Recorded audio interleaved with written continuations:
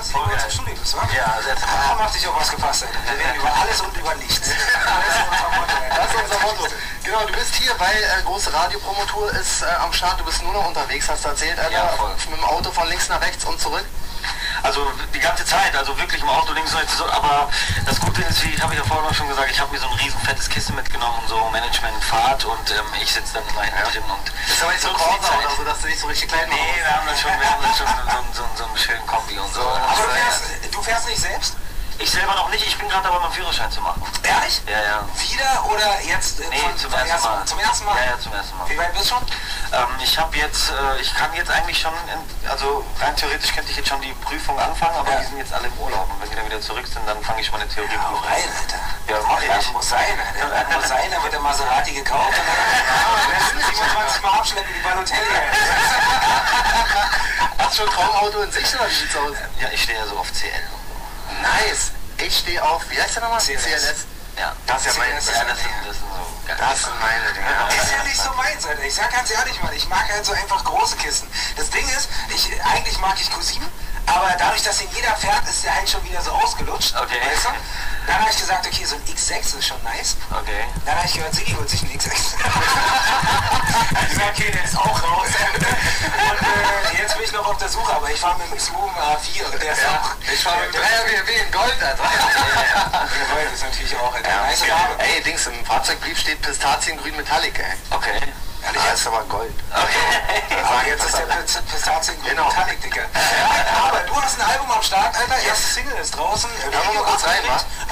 mal ganz kurz, damit jeder weiß, wie klingt genau Round Around. Erste Single aus dem Album.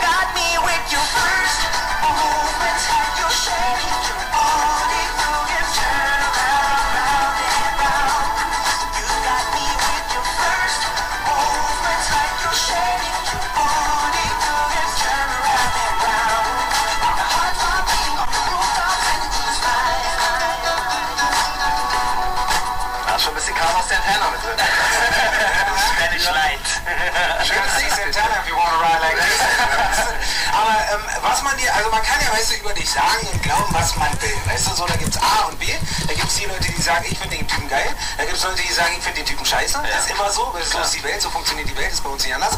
Aber ähm, eins muss man dir echt zugrunde halten.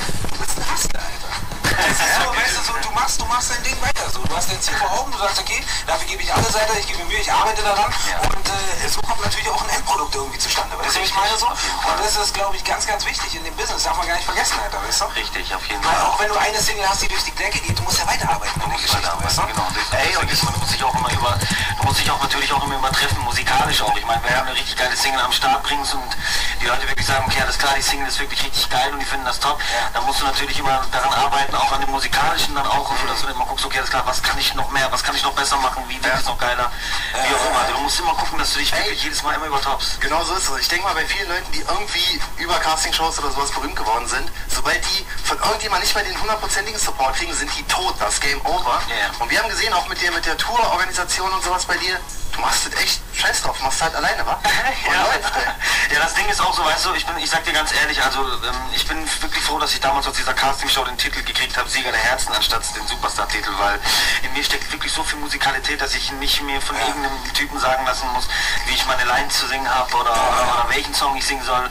Und so habe ich einfach musikalische Freiheit und ich fühle mich dabei super gut und ähm, ja. wie gesagt, mir geht's auch super gut und ich bin jetzt zum ersten Mal wirklich richtig voll dabei und ähm, es macht so viel Digga, Spaß. du siehst aus wie frisch aus dem Urlaub total erholt, Alter. Wirklich, Alter. Ganz ehrlich, hat vielleicht auch mit dem Mann hast du das Video gedreht? Boah, das, Monat oder so. Okay, dann ist er doch noch der Real Time, Alter. Dann ist das ein normaler Look. mit, der, mit der guten Farbe. Ich sag ja. Du bist leicht blass jetzt hier. Weißt du, meine Miami-Sonne ist komplett weg. Weißt du, ich ihn so sehe, Alter, bin ich gleich kurz davor Urlaub zu buchen wieder. Weil ich cash jetzt Ich noch was komm mit. Ja, muss ich gar nicht ich komm bei dir mit, Alter. So, Life auch noch ein bisschen bei Die. Sache, ist ja, die Sache ist ja, wenn man jetzt auch mal ganz ehrlich überlegt, weißt du, wo ist denn jetzt gerade eigentlich auch Mersat Marashi?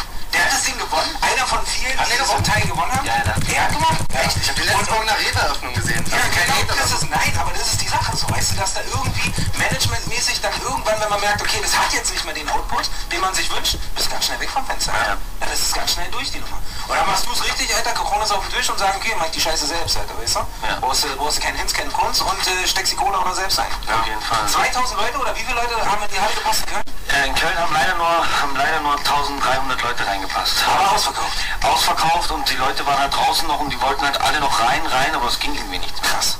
Also es war wirklich, für mich war es einfach ein riesenkrasses Gefühl, einfach wirklich, weil, wie gesagt, weil ich auch wirklich dann so lange weg war, dann kam ich halt raus, kam ich halt aus, aus, aus dem Knast halt raus, weißt du, und dann habe ich halt wirklich, äh, haben wir halt wirklich darauf gehofft, okay, das kam mit, mit dem Konzert fällt, ist es top oder ist es flop, weißt du, was ich meine? Und ich habe wirklich in der Zeit, als wir dieses Konzert organisiert haben, war ich ja auch noch mittendrin im Studio, also in der Arbeit von dem Album und das Album musste ja dann fertig sein praktisch dafür, dass das Konzert dann gespielt werden kann und wie gesagt, und dann auf die Bühne gekommen mit eigenen Songs und dann die Leute, man hat wirklich gesehen, dass die Leute die Songs wirklich was gegeben hat. Man hat gesehen, dass die Musik die Leute wirklich erreicht hat. Und als ich dann da oben war, war für mich einfach riesig, Alter. Als dann, Hey, als, ich habe ich hab die Videos ja gesehen, also ich habe mir das ja angeguckt äh, und muss ja sagen, das mag ich ja ganz gerne. Er hat ja immer so, so, so, so Michael Swag, weißt du, so, er, hat, er hat dann immer so eine, so eine Special Jacke so mit Lieben drauf und bam, so, weißt du, immer wirklich dressed up, Alter, weißt du, ohne Ende. Und äh, erinnert immer ein bisschen an Michael Jackson. Wir haben letztens gerade über Michael Jackson gequatscht, ist ja dritter Todestag gewesen. ja, ja, gestern. Von, Gestern äh, gestern oder vorgestern? Vorgestern. Vorgestern. Mhm, ja, genau, 25. Ja. Ey, dritter Todestag ist schon wieder so lange her, Alter. Wahnsinn, Mann. Drei Jahre, Alter. Wo warst, äh,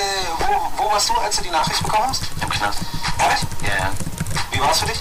Für mich war es richtig schlimm, Mann. Ich bin, ich bin früh aufgestanden, musste zur Arbeit und hab dann im Radio gehört, dass Michael Jackson tot ist. Also, The Man, einfach. The Das King. ist unglaublich, Alter. Wir haben den Song of the Day Voting gemacht. Man in the Mirror war der Song, der da gewonnen hat, Alter. Weißt du, aber das sind natürlich Sachen, die man sich wünscht, gerade als Musiker, Alter, weißt du, irgendwo auch nur ansatzweise. Niemand wird so packen wie Michael, weißt du, aber ansatzweise so einen Einfluss zu haben irgendwo mit der Musik. Und du sagst, dein Album ist sehr vielseitig. Wir haben es leider noch nicht gehört, aber wir haben es da. Wir werden gleich mal reinhauen hinter den Kulissen. Wir Genau. machen jetzt ganz kurz ein bisschen Mucke, sind gleich wieder zurück. Mit Mega Fröhlich, Crazy Power Hour und dann noch ein bisschen Inside. So, da sind wir wieder. 93.6 GMFM Crazy Power Hour. John O. Rashid featuring heute Menowin. You got me with your first movements, like your shake your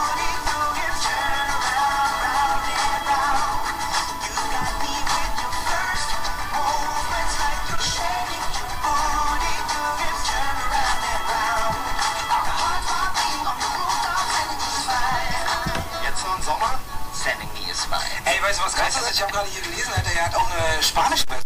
Ja, ich habe das, auch in- ich hab das auch in Spanisch gemacht. Hast du selbst übersetzt? Also nee, da habe ich, da, da, da, wir- da hab ich einen Freund mit ins Boot geholt, einen Spanier, Gustavo.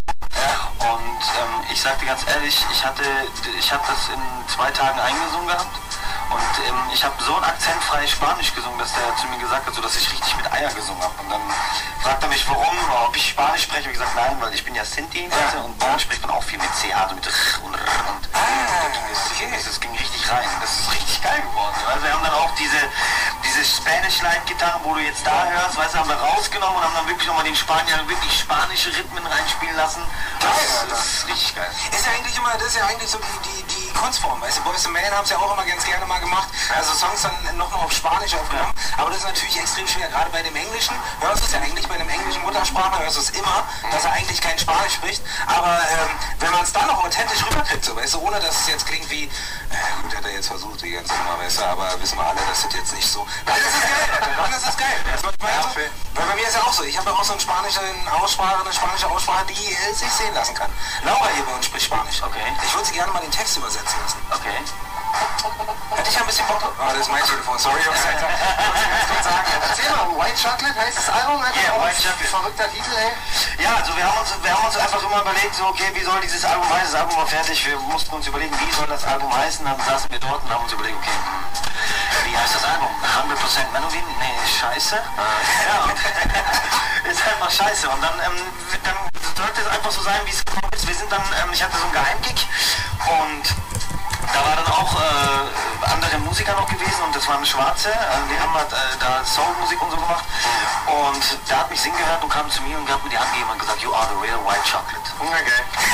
Dann habe ich mein Management angeguckt White Chocolate. Okay, dann White Chocolate. White Chocolate. Ich meine, irgendwann muss man auch aufhören zu reden. Also, also Fans, die Fans haben mir gedacht, White Chocolate deswegen, weil, äh, weil ich so gern Raffaello esse, aber das ist leider Ey, das mag ich auch, Alter. Hey, Raffaello, kennst du, kennst du den Laden hier in Berlin? Wonderpots heißt der? Nee. Okay, pass auf, Wonderpots. Ich muss ganz kurz sagen. Hey, hey, Wonderpots ist shit. ey. Schau Das ist wirklich-. Der Laden, der Laden ist, wir waren mit Motrip da gewesen. Wir haben uns, äh, äh, das ist so Frozen Joghurt. Okay. Und dann gibt es aber, dann gibt's aber verschiedene Soßen, die du draufhauen kannst. Unter anderem Raffaello-Soße. Ehrlich. Kein ohne Best. Scheiß, Alter. Mit Stückchen noch drin. Raffaello-Soße. Ja, dazu kannst du Himbeeren raufmachen, Alter. Karamellsoße. Kinder Bueno Soße. Kinder Bueno Soße. Ehrlich? Ohne Mist. Komm ich dahinter? Wirklich. Das ist dieser Laden, Alter. Ich weiß Ja, nicht, was man das aber aufschreiben. Kinder Bueno, die haben Kinderschokolade, die haben, äh, was haben die noch, Alter? Brownies, Bounty, Alter. Bounty. Wirklich, echt. Also, wie Vor allem, ich muss ja sagen, ich habe so Frozen Joghurt habe ich noch nie gegessen. Oder ey, musst du wirklich mal probieren. Musst du mal probieren. Die haben wirklich Aber wir waren auch, keiner hat's geschafft, Alter. Nee. Keiner von uns hat's geschafft. Das war so ein ganz normaler Becher, Okay. aber keiner hat's geschafft, Alter. Weil wir alle gesagt haben so, aber wir konnten nicht aufhören. So, Ja, das ja, ja, ja, so ja. nice ist. Und dann sagst du Alter, total, total am Ende. So Motion bauen, weil, oh, ich kann nicht mehr. Ich kann nicht mehr. Aber jetzt geht's weiter, weißt du? Ey, aber Wonderpots, Alter, ganz ehrlich, wenn du Raffaello Junkie bist, dann auf jeden Fall dahin, Alter. Muss man sich mal geben, die ganze Nummer. White Chocolate, ja, wir haben ein bisschen überlegt, Alter, was mit White Chocolate los ist. Ist der jetzt selbst auf den Namen gekommen? Weil dann ist es immer ein bisschen komisch, so, weißt wenn er, na, ich bin schon White Chocolate. Aber wenn jemand den Namen gibt, ist nice, Alter. Ja, das ist auch das war Ja, ey, Geschichte. ganz ehrlich, wir wissen ja spätestens seit den ganzen Auftritten auch so, dass ähm, du hast auf jeden Fall diesen Soul-Background auch, weißt du? Also so ein Stevie oder sowas oder auch Michael, Ja, ja, ja, ja. die sind dir ja nicht fremd. Nein, also ich bin, ich bin, ich bin mit der Musik groß geworden. Also ich bin wirklich mit Soul groß geworden. Also andere Kinder haben früher so in meinem Alter damals, wenn ich, weiß nicht, sechs, sieben, acht, was hörst du da als Kind? Äh, Kaufst du den Bravo-Hits oder was weiß ich was, Smash, Ja, ja, ja. Power oder wie die sich auch immer. Nee, man, Männer, wir hatten immer so fleißig Barry White Platten gehört und Delegation, SOS Band und so. War, Ja. Aber das sind schon die Insider, Alter. Das sind schon die Insider, weißt du, ich meine? Das ich jetzt fast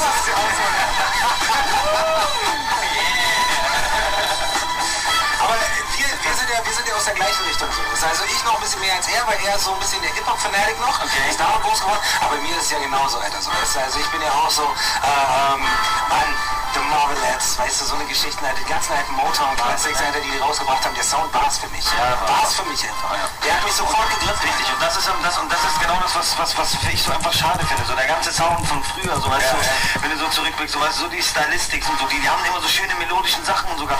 Und der Sound ist einfach komplett untergegangen. Also man hat da dann auch nicht mehr irgendwie was gefeatured. Also der Sound ist komplett weg. Das Ding ist ja auch, dass es in Berlin oder in Deutschland, also in Deutschland generell, auch nie so wirklich ankommt. Also es gab ja Nee. nie wirklich guten deutschen R&B. Nee. Weißt du, zum Beispiel so. Das, das, das gab es einfach nicht. Also du hast ganz wenig Künstler, die sich überhaupt daran getraut haben, Ja, ja. gesagt haben, okay, ich mach mal irgendwie. Dann hattest du zum Beispiel einen J-Love, der dann leider auch wieder weg war, so, weil er ja, ein gutes Album gemacht hat, wo die Leute gesagt haben, the shit, Alter. Ja. Weißt du, und seitdem hat sich keiner mehr so wirklich rangetraut. So, weißt du? Deswegen finde ich es gut, Alter. Hut ab dafür, dass du auf jeden Fall äh, dich nochmal in dein Metier begeben hast, so in unser Metier begeben hast und ein Album zusammengestellt hast, White Chocolate, im Album schon zu, äh, im, im Album schon zu kaufen, im Laden schon zu kaufen. Äh, ab Freitag. Jetzt Ab ab Freitag. 29.06. ist, äh, kommt White Chocolate auf den Markt. Und morgen, also am 28.06. gibt es die White Chocolate Album Release Party in Köln ähm, im Crystal Club. Und wer sich keine Karten sichern konnte, der kann sich da bei der Abendkasse noch ein paar Karten holen. Wer Bock hat. Ach, nice, ey. Wer Bock hat, wer Bock hat. Das auf jeden, wird auf jeden Fall geil sein. Also mein Man DJ Osan wird da sein, er wird für geile New Jack Swing Beats und 90er R&B Beats sorgen und Melody wird dort auftreten. Hey. Heiße Schnitten werden da sein. Erzähl sie mir, oder sag sie, sag sie, erzähl sie. Sag sie, nicht mit den Geschichten, ey. Weißt du? aber es wird auf jeden Fall geil werden. Ey, zeig mir mal, zeig mal ein bisschen Stuff, den wir hier so pumpen nebenbei, wenn wir mal, wenn wir mal den Moment haben, die Zeit haben und das Gefühl haben. Okay. Was willst du denn hören, Alter? Wer ich? Zeig dir, nee, ich sag gerade, zeig dir mal den Stuff, den. Ja, wir feiern zum Beispiel sowas hier, Alter. Na klar. Hey Lady. Hey, hit it! Ja, was ich meine? Ich meine, wenn du den im Auto pumpst, wie soll's dir da schlecht gehen? Ja, weißt du, das geht gar nicht, Alter. Ja, geht auch nicht. Anfangen.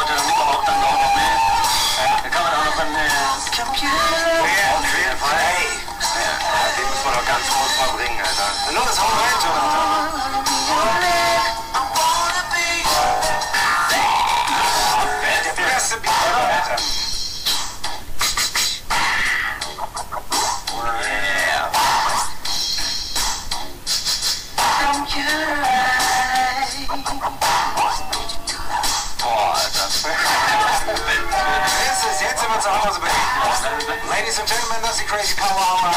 Wir pumpen, was das Herz begehrt. Jeder wie vor hier im Studio.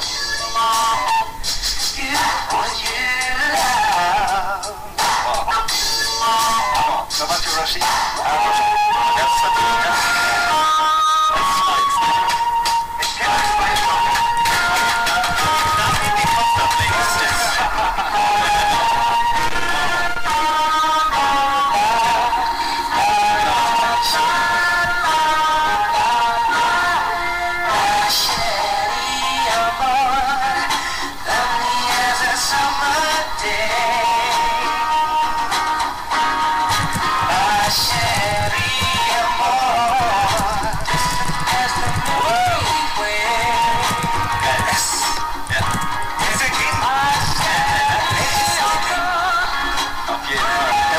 Uns zu mitsingen.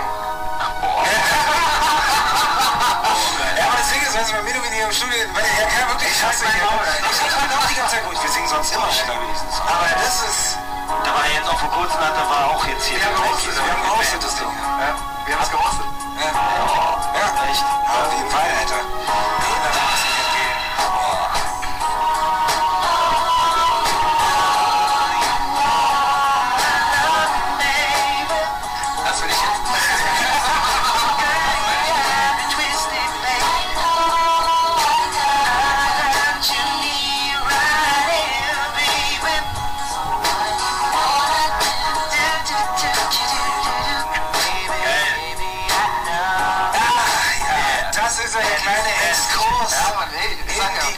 Alten Zeiten. Ja. Manchmal habe ich das Gefühl, wir sind in der falschen Zeit geboren, Alter.